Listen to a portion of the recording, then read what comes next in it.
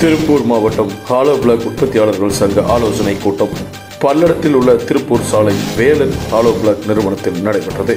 இக்கூட்டத்திற்கு தலைமை வகித்து பேசிய சங்கத்தின் செயலாளர் நாச்சிமுத்து மூலப்பொருட்களின் ஜல்லி சிமெண்ட் கிரஷர் பவுடர் கடுமையான விலை அதிகரித்துள்ளதால் ஹாலோ பிளாக் உற்பத்தி விலை பதினைந்து சதவிகிதம் உயர்த்த ஒருமனதாக முடிவு செய்யப்பட்டுள்ளது என்றும் விலையேற்றம் வரும் ஆறு பனிரெண்டு இரண்டாயிரத்தி இருபத்தி ஒன்று திங்கட்கிழமை முதல் அமலுக்கு வருகிறது என்றார்.